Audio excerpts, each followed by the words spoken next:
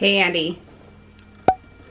Um, I have, I was going to text you um, earlier today, um, but since you're Marco Poloing, I thought I would just Marco Polo you. I went and got my blood work done yesterday, and I have my follow-up appointment with my endocrinologist tomorrow, and I just got my results this morning. Hello. Hey babe, how you doing? So I got my blood work done, or back. Oh, yeah, yeah. Uh, what is it? What is it? Howdy. Hey, how you doing? Pretty good for an old guy. Yeah, that's good news. Yeah. Hey, I just got um, my blood work done yesterday for my endocrinologist appointment tomorrow. Okay. And I wanted to tell you what my results were for that. Oh, okay. Are you turning green or something? I am. No. no, remember how I have been in pre-diabetic range Oh. with my A1C? Maybe I haven't told you that. But oh, I didn't know that. Okay. yeah, my my numbers three months ago um, were 6.2 for that my A1C, Okay. and today they are. I am officially not in the pre-diabetic range. Good for you. I know, I'm very happy. I'm one number. I'm at the high number of not being in range, but still, look how far you came. I know, right? And I mean, if you just keep doing what you're doing, you'll probably get a couple numbers away from it. You know what I mean? Well, and now it's it's one staying away from that edge and then just losing weight because that's really like what's doing it and making new habits and whatnot. And if I can like start working out on top of just walking, then that's like gonna like double it. Good for you. Thank you. It's not like it's been easy peasy. You know what I mean? You've had to put a lot of work and dedication into it. Yeah, a lot of changes. And you've been doing it for a long time. That's the hard part. You can do it. A lot of people can do it for a short period, but sustaining it, it's hard. Well, it's making new habits. I realized that when things weren't changing fast or weren't, you know, I was getting frustrated with it, but the consistency is where when the changes happen. So, Yeah. Yeah. All right. Awesome. well, thank you. Make us celebrate with a Big Mac. No, I'm just kidding. yeah, okay, okay. Today they are 5.6. Well, that's great. Yeah, yeah. So I, I've been working hard and working out and walking and eating and yeah. So anyway, just wanted to share that with you. It's been a hard journey. Great. But yeah, Well, that, yeah, 5.6, that, you can live with that for a long time. yeah. And if I can bring it down a little bit, then I'm not teetering that line, you know? Yeah, right. I don't want to tempt myself like I just told Jason and he was like, yeah, go get a Mac, Big Mac to celebrate. And I'm like, yeah, that'll put me over to the other side of the line. yeah. you know. I'm very proud of myself.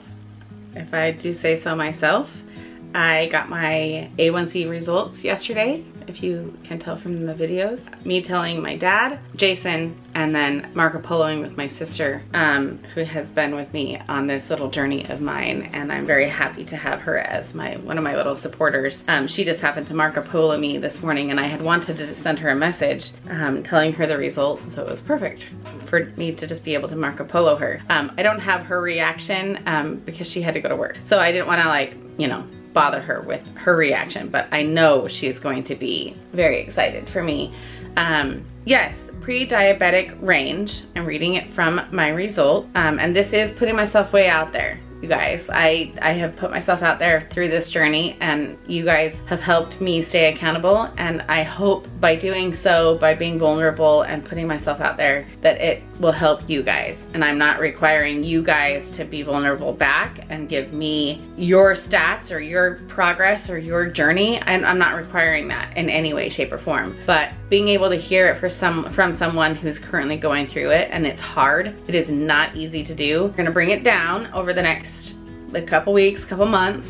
Um, but if I can bring that number down, and this is a motivation for you guys, um, because I realized that I have officially dropped 20 pounds. I told you that yesterday. I've officially dropped 20 pounds through Halloween. Well, through back to school, through Halloween, um, actually like even further back, the end of summer, barbecues, picnic, parties, Halloween, back to school, Thanksgiving. I have dropped 20 pounds through all of those holidays and events. If I can do that and bring this number down, I have hope for the next two weeks of the holidays. I have to still get through the holidays. I still have parties planned. I'm still gonna go. I'm still gonna eat. I'm still gonna not choose the right things. But if I can still hop on that treadmill, it's right down there below my desk, and, and I'm gonna start working out and doing different things, I can bring this number down and my weight, I think I can bring down to a number. I'm not, I don't work off of um, numbers necessarily with my weight, but I do have some goals that I would like to drop down to next. I work in small increments. I didn't necessarily work on 20 pounds, but that made me feel good when I got to 20, down, 20 pounds down. That's not the total amount that I've lost. I think I've lost almost, oh, more than 40. I've lost more than 40. So that's pretty good. that's really good. So I just have a new goal of not losing a certain amount, but that will get me to a weight that will make me happy. Like I just haven't been that weight since before I started having kids. Makes sense. My super skinny weight before I started having kids, but like when I had my first two kids, hang on. When I had my first two kids, and I'm just gonna make this video about, and then we'll cut it and we'll do in a different video for the day. But when I had my first two kids, I went into that with an un, well, I started it um, about a year before I had Kaylee with an undiagnosed uh, thyroid issue. And I had gained 20 pounds the first two years that I was married and I worked out five days a week. I worked out hard five days a week, but I had a sit down job. So I came home after that workout and I ate and I went to bed. I gained 20 pounds. So then probably another 10 pounds later, uh, a year later, I started having kids and so I didn't start having kids at a decent weight. I was still skinny in my mind now. I'd love to be that weight. Uh, so I started having kids and I didn't lose the weight after having kids, like after delivering my kids. I never lost weight from breastfeeding. It, it just didn't happen. I would lose like, you know, say 20 pounds or something, but I would never lose my stomach gut after. I would never shed the weight. My chest never decreased in size. Uh, my sister can shed 40 pounds a week after she has a baby and so that's what I'm trying to get back to. I'm trying to just get back to this, this weight that I was kind of in the middle of having those kids where I know that if I can get to back to that, it's just gonna be, I'm gonna be more healthy. I'm gonna be more comfortable in my own skin. So I have a few more things to do.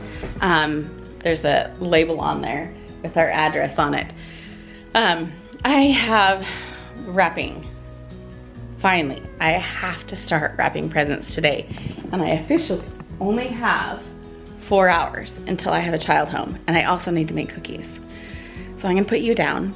I'm gonna take you on that journey in another video because I'm also trying to get caught up and ahead of the game for the holidays.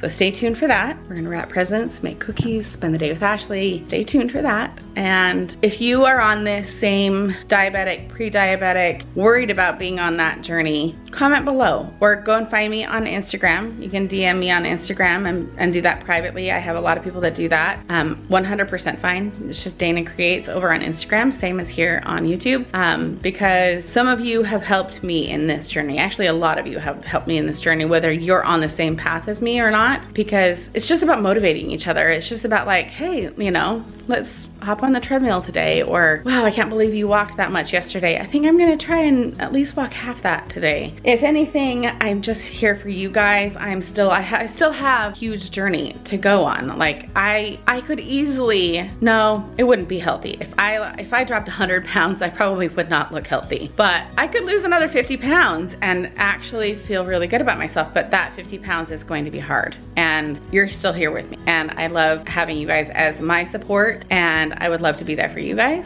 So thank you for this um, participation and the, the help and the support that you guys offer to me. Jason's a huge support, my dad is a huge support, my some of my siblings are a support. Um, find people that you trust to let in um, to give you that support because I know I don't trust, you know, everyone. Like it's an insecurity and uh, I don't want anyone to make fun of me. I don't want anyone to like insult me Um, you know, I am not a skinny girl. I'm just not. And I, you know, accept that and I'm working on it. So take care and good luck. And let me know how I can help you guys. If you need um, motivating messages sent back to you on private DMs over on Instagram, I'm right there for you. I'm right there because I understand what it feels like and, and know and I'm going through it and I might need it from you as well. So take care and we will see you guys next time.